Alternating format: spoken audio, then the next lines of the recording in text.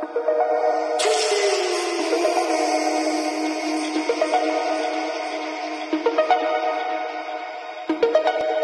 me in the morning. I'll tell you.